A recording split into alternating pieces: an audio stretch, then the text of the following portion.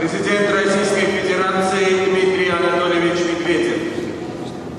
О внесении изменений в договор между Республикой Армения и Российской Федерацией о российской военной базе на территории Республики Армения от 16 марта 1995 года.